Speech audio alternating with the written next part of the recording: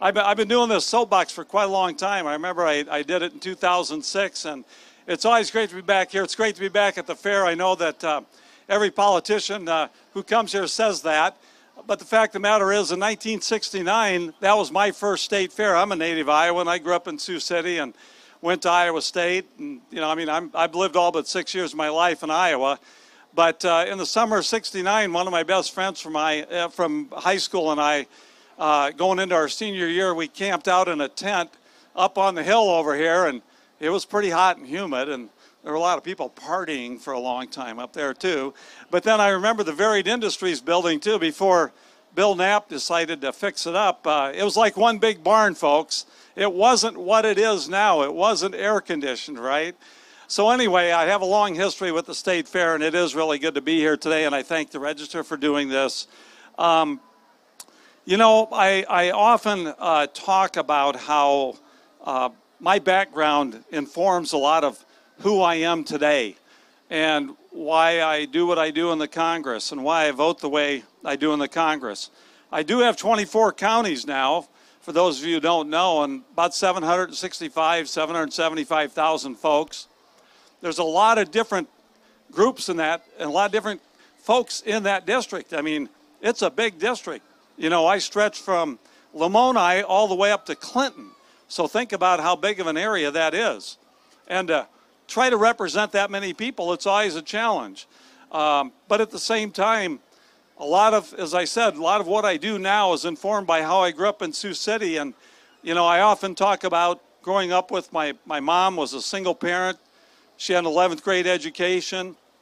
She struggled with mental illness her whole adult life. And I wasn't fortunate enough to enter the middle class, actually, until I got the job at Cornell College. And so I was not exactly young then. I was 29 years old when I got that job at Cornell College. But I was able to, to get where I am today because of my own hard work. Um, I decided very young that I was not going to stay poor my entire life. And that if I had a chance to go to college and work hard and do the things I needed to do, that that's what I was going to do. Because to be quite honest, if when you're in poverty, it's really not much fun, folks. Um, just so you know, I got to remind people that sometimes. It's not fun to be poor. But I was fortunate enough to be able to do that. But I had a lot of help along the way, too. My high school principal came to me when I was a senior, and he knew about the family situation. And he said, I know you're going to Iowa State, but we got this uh, janitor's job this summer if you want to take this job. And you can work this job if you do well at it. You can do it every summer while you're at Iowa State. And I took him up on the offer, and that's what I did. That's how I worked my way through Iowa State.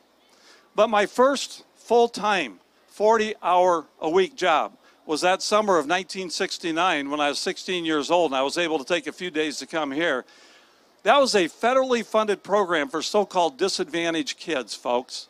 And what I did was I worked at the Sioux City Waste Treatment Control Plant, otherwise known as the Sioux City Sewage Plant. And I got myself up early in the morning and I drove my brother's 1960 Bel Air. I like, to, I like to remember these days, you know, a three speed on the column that burned more oil than it did gas, if you know what I'm talking about. And, and I got to work early, got up early, got to work early. I learned about responsibility. I learned about taking responsibility for myself. And I learned what hard work was all about. But that was a program that was provided to me. And then when I went to college, I was able to get grants and scholarships and low interest loans. I wouldn't have made it through Iowa State had it not been for those programs. And Social Security. My dad died when I was a senior in high school, and my parents were divorced. But it didn't matter that they were divorced. I was able at that time to get Social Security survivor benefits so that I could get through Iowa State University, so I could pay my way through Iowa State. So, those are some of the reasons why I am who I am today and why I do everything I can to build up the middle class, protect the middle class, and also make sure that folks who are not in the middle class but want to get out of it and are willing to pull, themselves up by their bootstraps and take responsibility for themselves, that they have the kinds of opportunities that I had when I went to Iowa State, that I had when I was young. Because there are people who care about people like that. But the middle class is what drives this country. The middle class, there are a lot of reasons why we're exceptional. But the middle class is one of the big reasons why the United States of America is an exceptional country, folks. And we need to do everything we can to protect and to expand and help the middle class and those who've never been in it, folks. We've got to do that. It's what it's all about. And it's about good jobs. Yes, we have an economic recovery, but that economic recovery isn't as strong as it should be. So we've got to deepen that recovery. We've got to get people back to work. We've got to focus on infrastructure, folks. We passed a five year highway bill last year. Unfortunately, we didn't completely fund it yet.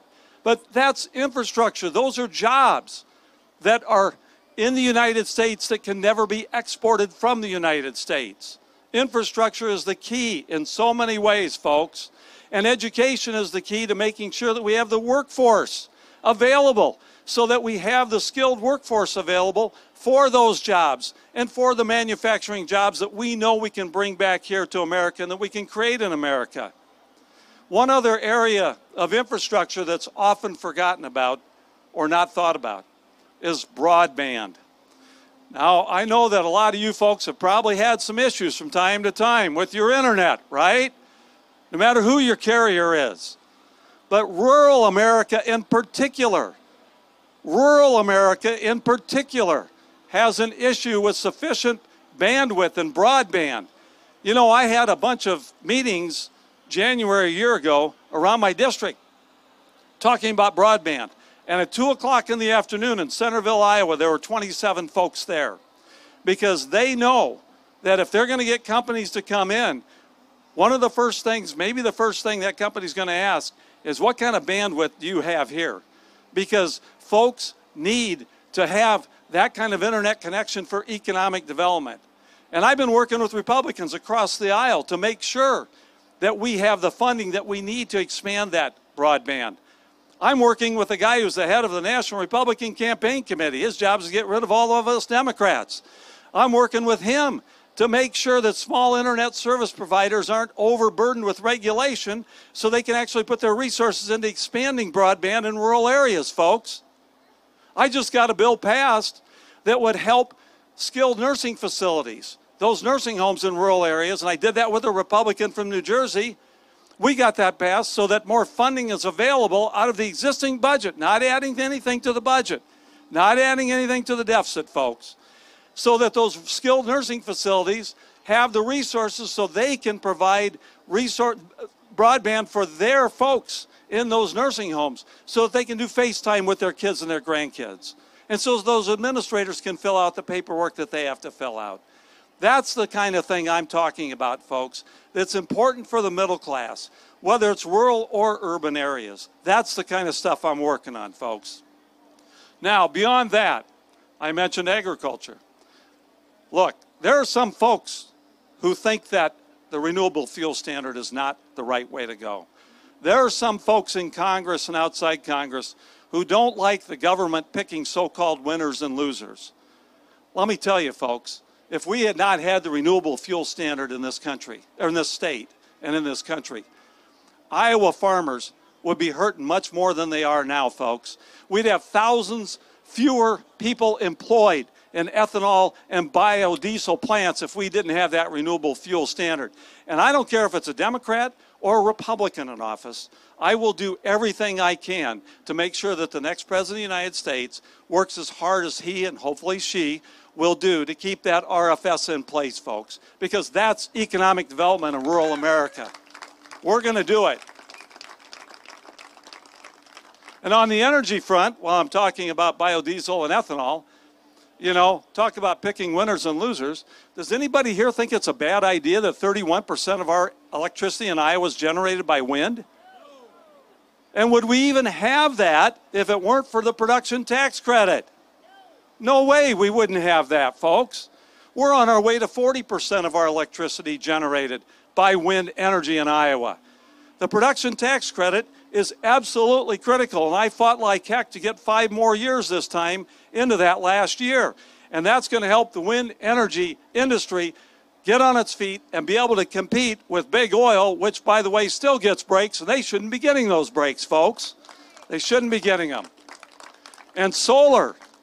Go to Washington County. It's not number one, but it's right up there in terms of hog production per capita, okay? Those big confinements, some people don't like those. I get that, all right? But those big confinements, more and more of those are being powered by solar energy. And they wouldn't be able to do that. It wouldn't be cost effective if it weren't for the investment tax credit, something I worked hard on to get five years more for that too this time around, folks. Very, very critical.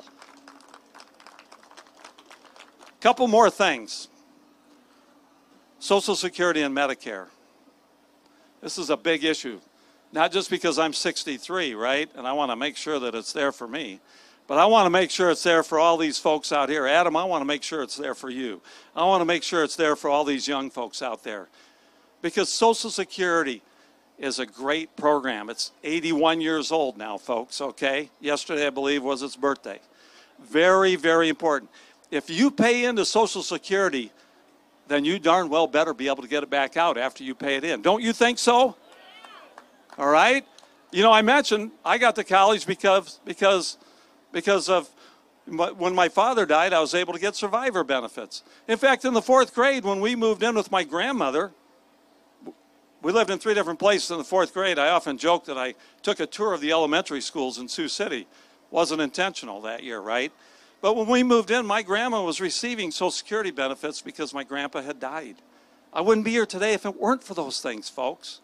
But there are some who are saying We've got to privatize it. We've got to turn that trust fund over to Wall Street and to those investors. Well, folks, I don't think that's a good idea. Do you? No way. And on Medicare, just think about this, all right? There are folks, Republicans in Congress, who want to turn Medicare over to the private insurance industry. Does anybody think it's a good idea that we turn Medicaid over to the private insurance industry here? I mean, there's no way, folks. Think about that. And then, well, maybe you get a voucher for five or six thousand dollars, right? Well, anyone who's on Medicare knows that if you're 65, 66, 67 years old, that if you go out and try to buy an insurance plan that's as good as what you get on Medicare, and you say that, oh, I have $6,000 to pay for that, you know that's going to be completely inadequate to pay for what you get on Medicare. So, folks, not only do we have to fight privatization of Social Security, we have to do everything we can to make sure that we don't turn over Medicare to those private insurance companies as well. We've got to do that, folks. I want to, and I want to just say a couple things about, about sort of the political system as we know it today, and really how pretty ugly it is out there, folks. You know, you hear it a lot from uh, your neighbors. You probably talk about it from time to time, just how ugly it is. We've seen what's happened at the presidential level. It's not a good thing for America that it has gotten so incredibly ugly out there in our political process. When I ran in 2006, my opponent and I, Jim Leach, I just looked it up again. Uh, November 4th, the Los Angeles Times in 2006 ran a story about how Jim and I were running against each other, and we didn't say anything bad about each other. All right? In fact, I ran a commercial that said Jim Leach is a good man. Okay? Well, we've seen what's happened since that time. It's just gotten uglier. And everything I hear when I go to the Hy-Vee or when I'm at a Casey's because I'm on the road all the time, you know, or a Kum & Go or whatever, what I hear is that people say, enough is enough. Enough of this partisan nonsense. Yes, I'm a Democrat. Yes, I want more Democrats in office because I think Democrats do better for the middle class. Thank you. But at the same time, hopefully I'll be reelected this time. You know, when I go back in January of next year, I'm going to keep doing what I've done all along. And I'm going to work with folks on the other side of the aisle. As I said, I did that with respect to broadband. I've done it with respect to the renewable fuel standard. I've done it on any number of issues because that's what people tell me they want me to do. They want me to work for them, not for the special interest, not for the party, all that other stuff. And they actually want us to get along. So, you know, I know a lot of folks on the other side of the aisle. I do the best I get to get along with them. I, I listen to folks you know, who aren't traditionally Democratic constituents and constituencies. And I work with them on a number of issues because it's the right thing to do. And I know that that's what you folks are yearning for as well. Yeah, you want a Republican or you want a Democrat or maybe you want a Libertarian, whatever the case may be. But from what I hear from you folks, you also want us to sit down when this is all over and figure out how to move the country forward. Is that what I'm hearing from you folks? I mean, that's so. Listen, folks, go out there and do what you got to do. You know, hopefully you're going to work hard to get me elected. I know not all of you are my constituents necessarily, but um, hopefully you're going to work hard to get me reelected. I'm looking forward to going back. I think we can get some really good things done here in this country. I think that, you know, I'm not a Pollyanna about this, but I think that when we go back in January, there's going to be such a critical mass of the American people who want us to do the right thing that I think most of the politicians, they know that that's true. But I have some optimism that we are going to be able to get things done and continue to do what we've done the last eight years, make sure that we deepen this economic recovery, get more people back to work, make sure we expand the middle class, protect those who are there, make sure we've got good jobs, make sure that we do everything we can to keep America safe from our enemies. We all want that and continue to do the right thing. Thanks, everybody. Thanks for being here. Really appreciate it. Thank you.